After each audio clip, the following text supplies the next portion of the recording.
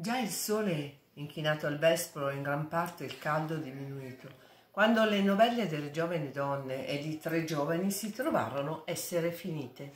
Per la qual cosa la loro reina piacevolmente disse Ormai, care compagne, ni una cosa resta più a fare al mio reggimento per la presente giornata, se non darvi reina nuova, la quale, di quella che è a venire, secondo il suo giudicio, la sua vita e la nostra, a onesto diletto disponga.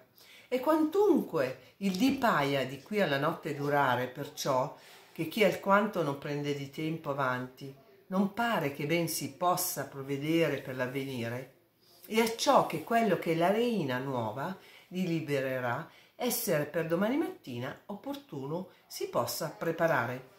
A quest'ora giudico doversi le seguenti giornate incominciare e perciò a riverenza di colui a cui tutte le cose vivono e consolazione di voi, per questa seconda giornata Filomena, discretissima giovane reina, guiderà al nostro regno. E così detto, in piedi levatesi e trattasi la ghirlanda dell'alloro, a lei reverente la mise, la qualcosa prima e appresso tutte l'altre, e i giovani similmente salutarono come reina, e alla sua signoria piacevolmente soffersero.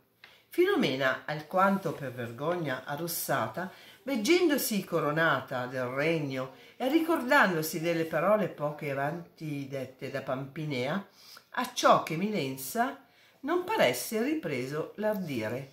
Primariamente gli uffici dati da Pampinea riconfermò e dispose quello che per la seguente mattina per la futura cena farsi dovesse quivi, dimorando dove erano, e appresso così cominciò a parlare. Carissime compagne, quantunque Pampinea per sua cortesia più che per la mia virtù m'abbia di voi tutte fatta reina, non sono io, perciò disposta nella forma del nostro vivere dover solamente a mio giudizio seguire, ma col mio il vostro assieme, e a ciò quello che a me vi far conosciate, e per conseguente aggiungere e menomar possiate a vostro piacere. Con poche parole ve lo intendo di dimostrare. Se io ho ben riguardato oggi alle maniere di Pampinea tenute, egli me le pare avere parlamente lodevoli e dilettevoli conosciute, e perciò infino, a tanto che elle, o per troppa continuanza o per altra cagione, non ci divenissero noiose. Quelle un giudico da mutare. Dato adunque ordine a quello che abbiamo già a fare cominciato, quinci levatici, alquanto n'andrem sollazzando, e come il sole sarà per andar sotto, ceneremo per lo fresco, e dopo alcune canzonette e altri sollazzi sarà ben fatto l'andarsi a dormire. Domattina, per lo fresco levatici, similmente in alcuna parte n'andremo sollazzando, come a ciascuno sarà più a grado di fare, e, come oggi aven fatto, così all'ora debita torneremo a mangiare, balleremo.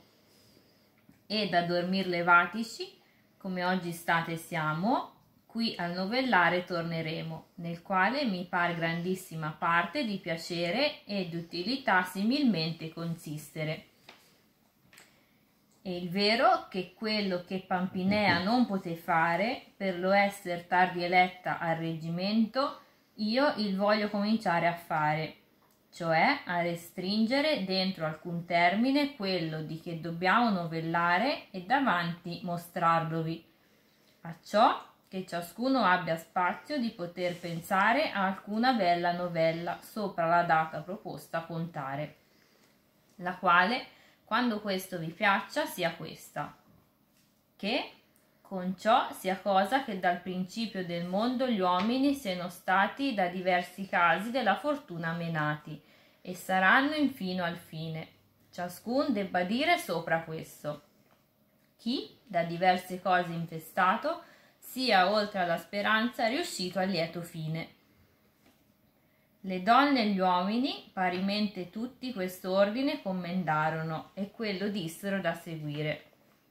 Dioneo solamente, tutti gli altri tacendo già, disse Madonna, come tutti questi altri hanno detto, così dico io sommamente esser piacevole e commendabile l'ordine dato da voi.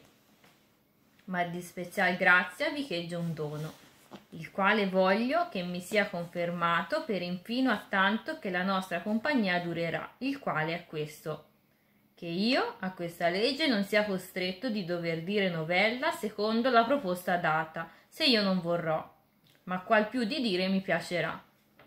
E a ciò che alcun non creda che io questa grazia voglia, siccome uomo che delle novelle non abbia alle mani. Infino, da ora son contento di essere sempre l'ultimo che ragioni. La reina, la quale lui è sollazzevole uomo e festevole conoscea, e ottimamente s'avvisò questo lui non chieder, se non per dover la brigata. Se stanca fosse del ragionare, rallegrare con alcuna novella da ridere, col consentimento degli altri, lietamente la grazia li fece. E da seder levatasi, verso un rivo d'acqua chiarissima, il quale d'una montagnetta discendeva in una valle ombrosa da molti albori fra vive pietre e verdi erbette, con lento passo se ne andarono. Quivi, scalze e con le braccia nude per l'acqua andando, cominciarono a prendere vari diletti fra sé medesime e appressandosi l'ora della cena, verso il palagio tornatesi con diletto cenarono. Dopo la qual cena, fatti venire gli strumenti, comandò la reina che una danza fosse presa e quella, menando la lauretta, Emilia cantasse una canzone da leuto di Dioneo aiutata. Per lo qual comandamento Lauretta prestamente prese una danza e quella menò, cantando Emilia la seguente canzone amorosamente.